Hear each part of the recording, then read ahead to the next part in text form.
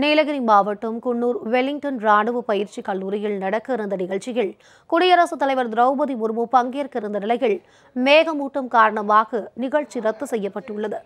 இதுகுறித்த கூடுதல் விவரங்களை செய்தியாளர் சிவகுமார் வழங்க கேட்கலாம். வணக்கம் சிவகுமார். மேகம் கூட்டம் காரணமாக இந்த நிகழ்ச்சி ரத்து செய்யப்பட்டதாக தெரிவிக்கப்பட்டிருக்கிறது இது குறித்த கூடுதல் விவரங்களை பதிவு பண்ணுங்க. வணக்கம் பிரியங்கா.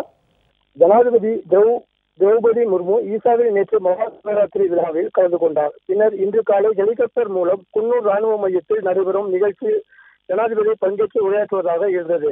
இந்த நிலையில் இன்று காலை முதல் குன்னூரில் மேகமூட்டம் மற்றும் மலை சாரல் இருந்தது. இதனைத் தொடர்ந்து மோசமான காலநிலையையொட்டி ஜனாதிபதி முருவின் குன்னூர் பயணம் ரத்து செய்யப்பட்டதாக ராணுவ அதிகாரிகள் தெரிவித்தனர்.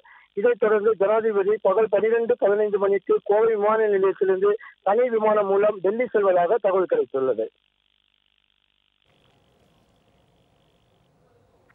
மேகமூட்டம் காரணமாக இந்த நிகழ்ச்சி ரத்து செய்யப்பட்டுள்ளது. இது குறித்த விவரங்களை செய்தியாளர் சிவகுமார் வழங்க கேட்டோம். நன்றி சிவகுமார். மேலும் விவரங்களை பின்னர் வரும் செய்திகளில் பார்க்கலாம்.